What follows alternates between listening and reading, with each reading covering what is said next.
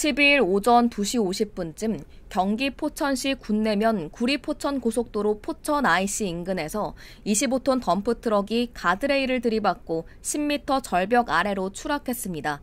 이 사고로 트럭 운전자 30대 남성 A씨가 다리를 다친 채 차 안에서 고립됐다가 구조돼 병원으로 옮겨졌습니다.